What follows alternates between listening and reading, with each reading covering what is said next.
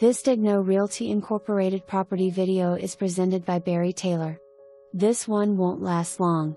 Nice 2 bedroom 2 bathroom townhome in sought after community. Close to schools, shopping, dining and easy access to Beachline for quick commutes. Tile floors in main living areas and carpet in both bedrooms.